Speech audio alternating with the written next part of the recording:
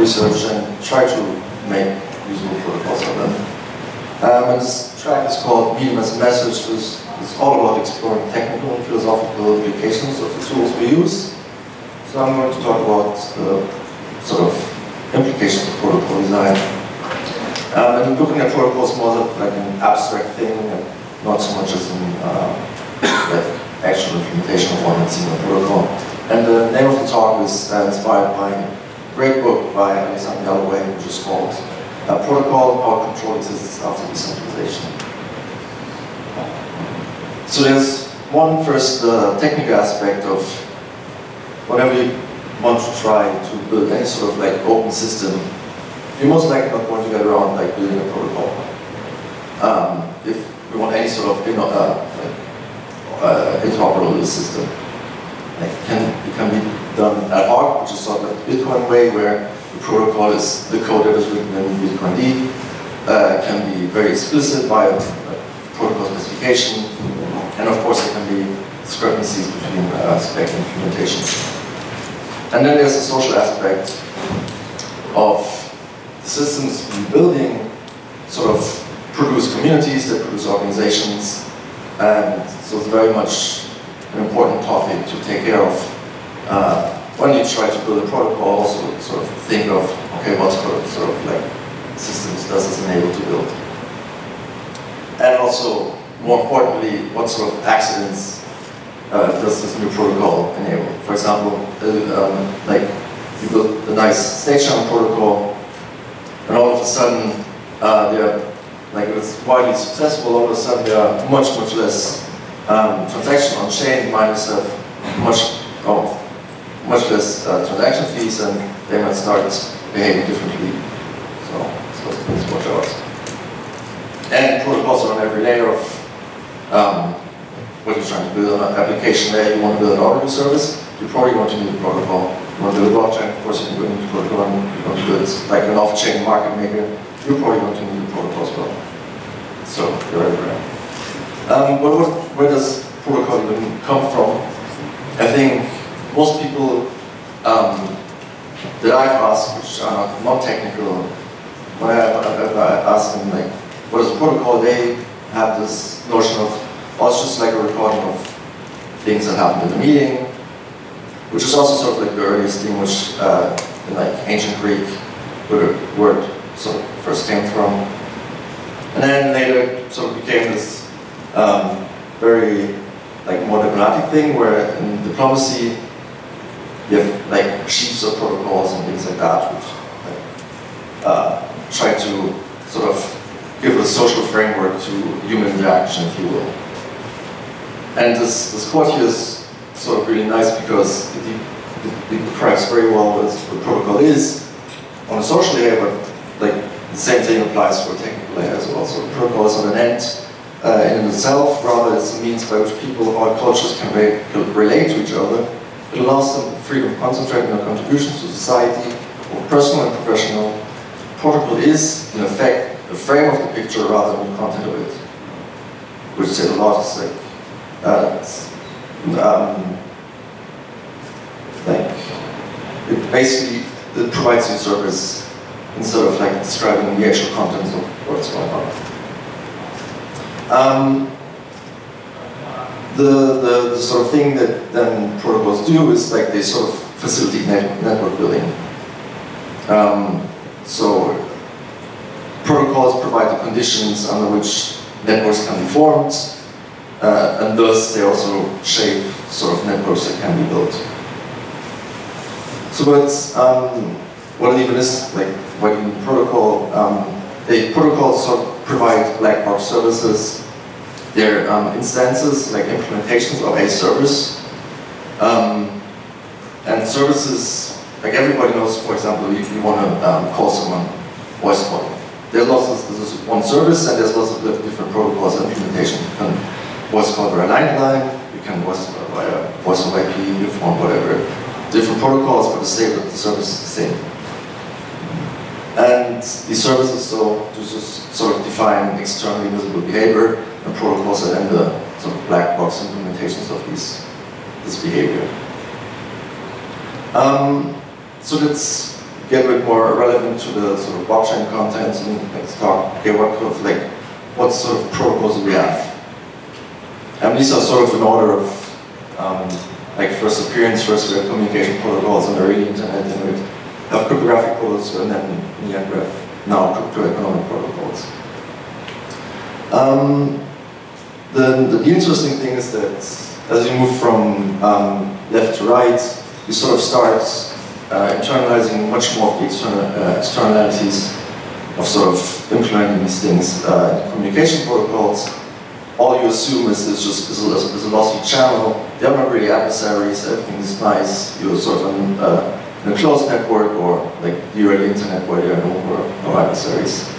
Then cryptographic protocols all of a sudden have this notion of an adversary who wants to, um, I don't know, uh, interrupt your connection. They want to maybe um, eavesdrop, things like that.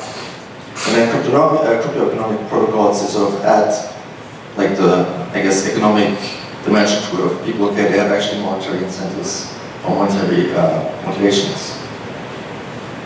And what, what sort of actors do we have in our protocols? We have uh, altruistic rational Byzantine actors. Altruistic actors, they are more than happy to follow any sort of protocol, even if it means losing like tiny amount of money or whatever, or um, basically, yeah, the rational actors are the ones who try to sort of be selfish in the sense that they want to have the best, but they still adhere to the protocol.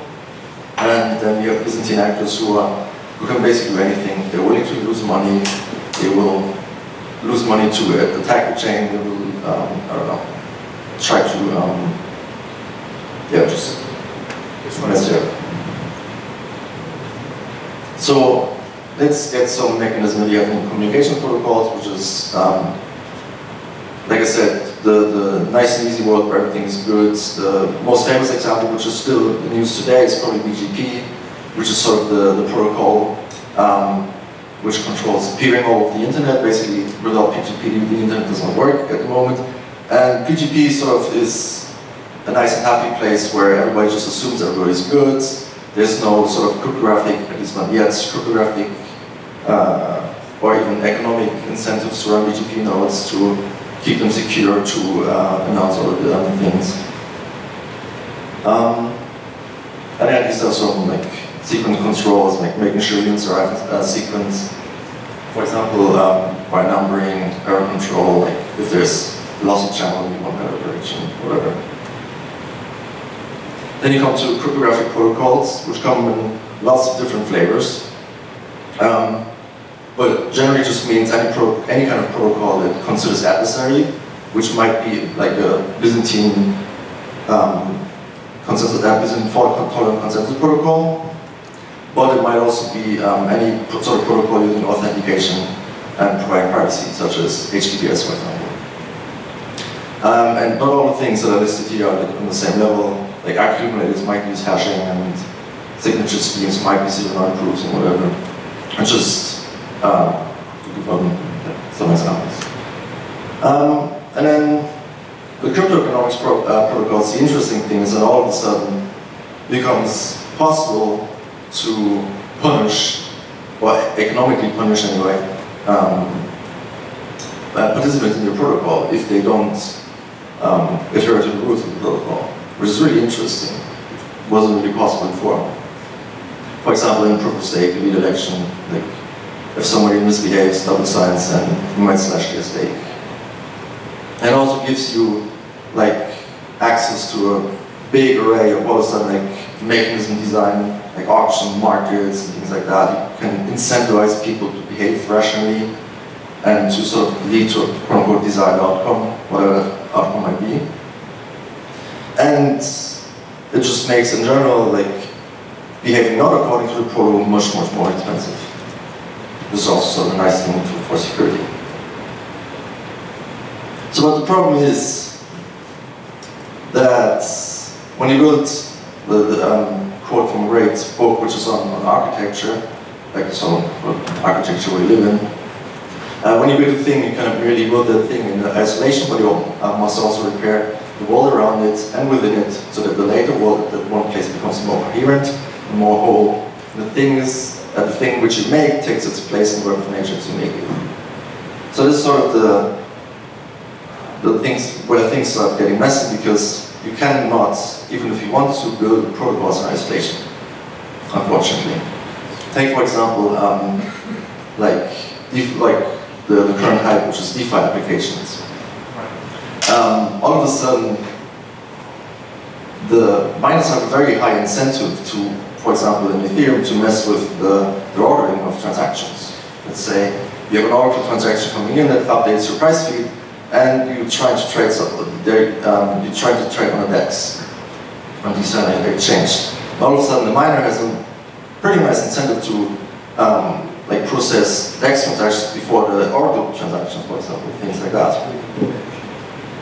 Um, or take, for example, in the MakerDAO, you have a debt position, the price changes rapidly, you try to top off your, your uh, CDP basically, and all of a sudden, a miner has a very like sort of high incentive to get bribes, and you say, okay, if you don't bribe me, I'm not going to let you top you off your CDP.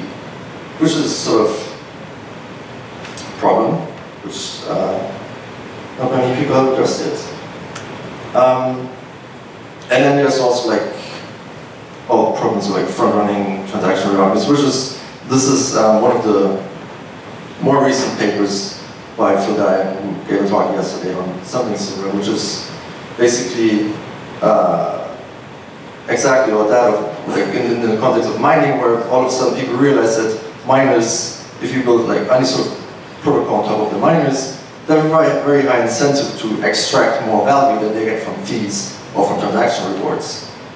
Which basically, um, yeah, because basically the, the, the, protocols which are on a high level assume that their low level is ideal.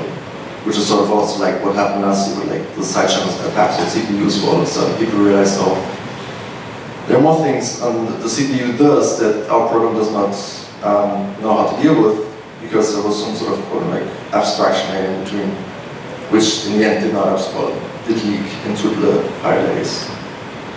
And then there's also the one of the biggest problems, which is nobody has really addressed it, which is bribery, um, especially in uh, proof of stake sort of pro uh, protocols that would be very interesting to see how using different chains to bribe people on other chains will be used uh, would be very interesting. So but um, let's see, like, let's say you have an uh, idea for a service, you come up with a protocol, um, question marks and some on implementation. Um, the process like of like writing a protocol is very much similar to just normal software design, meaning it's highly iterative, it's very messy. Um, you have often inconsistencies between implementations and the specifications that you're writing. Um, and lots of bugs. There's, with software I only found after implementing them and then you sort of get to this mess, okay, am I going to update the code or am I going to update specifications? Um, especially if everything like this happens in the open as in a blockchain where people start like actually using these things, then it becomes even more complicated. And often, quite often, protocols end up being used in situations that were never designed for, which makes things even worse. Um, so some sort of like, I guess, guidelines for just the design and the model. There's always simplicity. If there's more than one way to do something, then it's most likely wrong. Um, exceptions make everything more error prone because they sort of uh, like basically force you to unwind a lot of state and you end up in like quite often in uh, undefined states, which is a mess. And easy features are features most people will use. So if you have so, some sort of like um, complicated features, it will most likely not be used, it will not be tested properly, and you will only catch bugs very, very late in the life cycle of this protocol, if at all. Um, which is then making easy things. The misuse resistance is in general like a thing for cryptographic protocols, For like example, if you write a hash function, you shouldn't, but if you do, and uh, or and not function, sorry, signature uh, algorithm, like dealing with nonsense is pain in. So try to make the thing that you doing misuse resistance, like not real defaults, no automatic leading of some sort of like data, metadata, whatever. Uh, make everything as explicit as you can, because people will not read the full specifications. They will assume things based on what they've read, and which just leads to a whole world of problems, and be very transparent about the facts that the things that you're trying to say have. Um, another interesting thing, which is not really what, not really a thing yet in like many like blockchain protocols, but it's like think about depreciation. Like, what would it look like if all of a sudden everybody decided, okay, uh, this blockchain system is now outdated, let's move to a new one, which is sort of happening with 1.0 to 2.0, but um, it's a, usually a very ad hoc pro uh, progress uh, process, and there's not, it's usually not a thing people think about a lot because, of course, when you're designing a protocol, you want it to be used in more or less indefinitely. And then minimization, putting things on chain, costs lots of money. Uh, leaking data is also not nice. And uh, yeah. So when you actually try to write a specification, like the thing that people are supposed to read, don't try to be clever. Please don't. Uh, repeat words if needed, because otherwise people might think they're different things. If you're just trying to be, know, not uh, repetitive in the way you write. State diagrams are amazing. Um, if something looks complicated as a state diagram, it's probably too complicated, and people will get confused.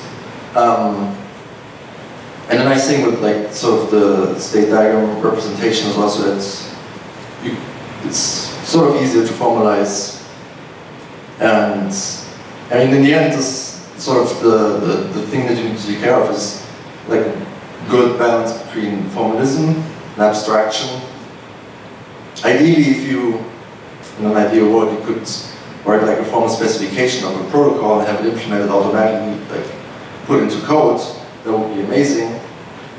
But unfortunately, um, writing formal specification is really, really hard. Tools are getting better, but it's still a pain and like trying to actually write a formal like definition of all the things that you, for example, want to include in a um, in a consensus algorithm is not impossible. So too much formalism makes it much harder to read and implement for people. So that you have to some sort of like strike some sort of balance between formalism and abstraction. And probably the most important thing is uh, if it's easy to misunderstand something, then it's a bug in the spec. Otherwise, you're just not going to be happy, and people will misunderstand you. Um, yeah, this is the biggest kind of ones. Is like what happens once people use this thing. What what happens once it's deployed? How do you upgrade things? And people not upgrade. How do you deal with like backwards compatibility? Um, this is really really hard, especially uh, if everything of this like happens in the open and you basically have people just as soon as you write something, people using start using it. It's uh, very messy, and yeah, it becomes especially in like decentralized systems or trying to be decentralized systems, it gets even worse.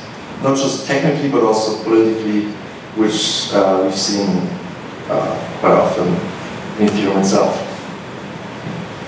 So to wrap up, with some more uh, like philosophical notes, then uh, network can have important consequences for the distribution of power and uh, of delivery grains. They do not produce a flat or fragmented uh, world of diffuse power relations and ready corporations, nor do tend to become less asymmetric over time. Instead, they result in specific, tangible, and enduring configuration of power imbalance. Meaning that if your protocol um, ends up being used or ends up trying to sort of incentivize people for any sort of uh, like quote unquote rational behavior, you sort of need to think about what is the like long-term like play out of this behavior. Things are very sticky. If people are you can extract more information somewhere else, they will. And you might end up, even if you have good intentions, you quite often might, might end up just making things worse and or just trying like not including people who or let's say you know people but actors who might be disadvantaged already, just them more disadvantaged. And that's the end. Thank you.